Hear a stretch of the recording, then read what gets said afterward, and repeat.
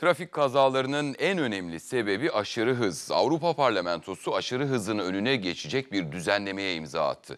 2022 yılından itibaren yeni üretilen araçlarda hız kontrol sistemi zorunlu olacak. Yani sürücüler isteseler de hız yapamayacak.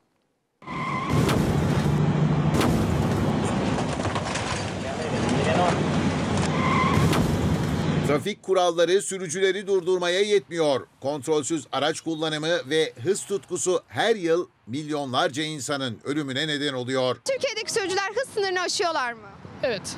EDS'ler var yollarda. Kimse onları da uyduğu yok. Trafik kazalarında insanlar ölüyor. Ee, yazık günah değil mi onlara? İnsanlara zarar vereceğini bildikleri halde bence hızlı gitmemeleri lazım. Biz birbirimize saygıyı bilmiyoruz. Yol vermeyi bilmiyoruz. servis kullanıyorum.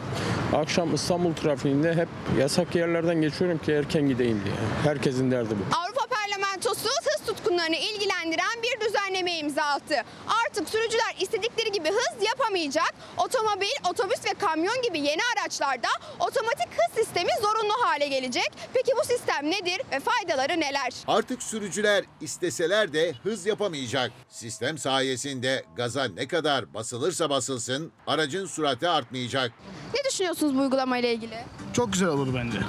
Mantıklı yani güzel bir uygulama. Çok güzel bir şey aslında. On numara olur yani. Süper bir şey yani. Hani trafik ka- kazaları azalır. Gayet güzel. Gerekli bir uygulama mı? Gerekli tabii canım yani en azından kimse hız yapmaz. Akşam otobana çıktığım zaman yani Allah adam yani hiç önündeki sürücüyü, yanındaki sürücüyü, etrafındaki sürücüyü hiç kimse gö- görmüyor ki. Süper bir uygulama.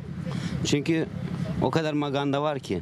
Bizim e, büyük kentlerimiz için faydalı olacağına inanıyorum. Uygulama 2022 yılının Mayıs ayında yürürlüğe girecek ve şimdilik yalnızca Avrupa Birliği'ne üye ülkelerde geçerli olacak. Peki Türkiye'deki sürücüler böyle bir sınırlamaya nasıl bakıyor?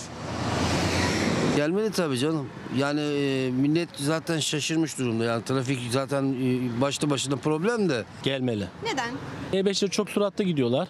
Herkes kurallara uysun. Hız limitlerine uysun. Gelmeli. Neden? Gelmeli çünkü daha güvenli. Daha güvenli kesinlikle yani. Her gün görüyoruz, izliyoruz kazaları artık istemiyoruz yani bu kazaları. Hız limitinin sınırlanması herkesin sağlık açısından bence daha güzel olur. Hızlı gidebilirim ama dikkatli giderim. Makas tarzı olayları yapmam mesela. Bence de gelmeli. Neden?